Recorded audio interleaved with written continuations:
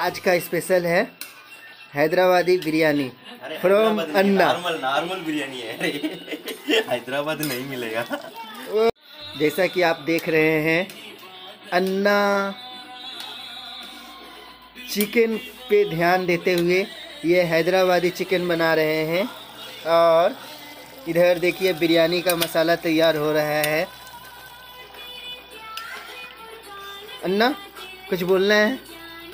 Very tasty uh, chicken gravy and uh, tasty uh, chicken biryani will be ready within uh, 10 minutes i hope within 10 minutes but uh, how many minutes take they don't know,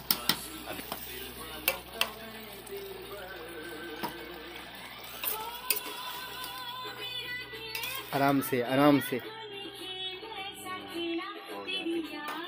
ये नारियल का paste भैया कुछ बोलना है? नहीं हम कुछ नहीं बोलना है।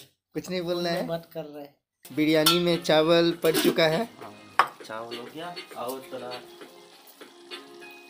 दूध है। नारियल का दूध है। हम्म, थोड़ा से डालना पड़ेगा। नारियल का दूध डाल रहे नारियल का दूध क्यों डाले? वो टेस्ट अलग होगा। वो बिरयानी अलग टेस्ट होना चाहिए ना। इसलिए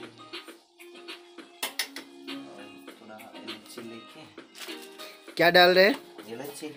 इलायची पाउडर? हाँ, इलायची इलायची पाउडर नहीं ऐसे गोट गोटा इलायची। हाँ, गोटा इलायची डालेगा और थोड़ा धनिया पत्ता इसे ये धनिया पत्ता क्यों डाले आप? इतना सुंदर स्मेल होना चाहिए हम लोग और शरीर के लिए धनिया पत्ता ज़्यादा चाहिए।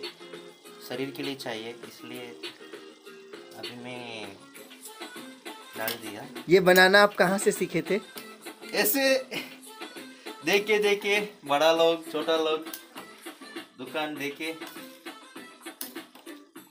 तो आज का खाना इतना स्पेशल बना रहे हैं कोई बात है क्या? ऐसे नहीं है हम लोग अरुणाचल में है और ज़्यादा दूर है घर दूर है। अभी कौन आ, हम लोग पूरा एक फैमिली है, परिवार है, इसलिए मन में कुछ होने से भी पूरा भैया और भाई लोग एक साथ बैठ के ऐसे खाना करना पड़ेगा, ज़रूर है।